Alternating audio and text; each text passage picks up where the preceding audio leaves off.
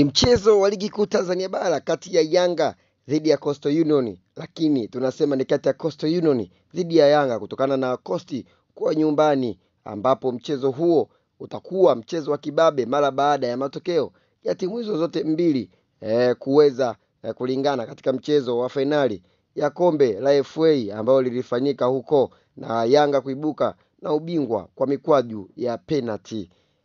Kikosi cha Yanga kinatarajiwa kuanza leo katika mchezo huo ni pamoja na Diara Jigui, Ah, lakini pia kuna taarifa za nyota huyo kukosekana, hivyo nafasi yake inachukuliwa na Abu Twalibu Msheri, huku beki wa kulia akiwa Juma Shabani. Kwa upande wa beki wa kushoto Joisi Romalisa Mutambala, beki namba nne na namba tano yani Kibangala Litomba pamoja na Bakari Nondo Mwamnyeto.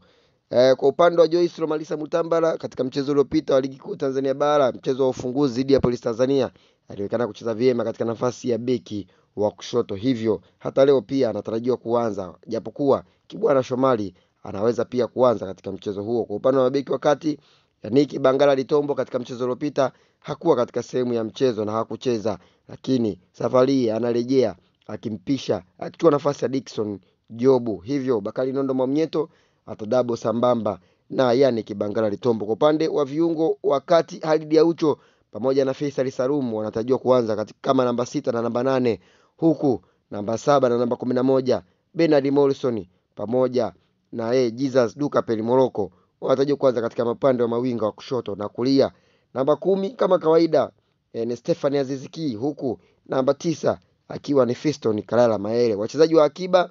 eh, ni pamoja na Faridi Musa lakini bila kuwasahau wachezaji wengine kama Dennis Nkane lakini pia Eric Johora pia anaweza kuwa katika sehemu ya wachezaji wa akiba. Hiyo ni kulingana na golikipa Diara Jigui eh, kuwa na majeraha na hawezi kuwepo katika sehemu ya mchezo, bila kusahau wachezaji wengine kama Elitia Beneza Makambo, lakini pia mchezaji kama Zawadi Mauya wanakuwa katika eneo uh, la wachezaji wale wa akiba au tunaita substitution.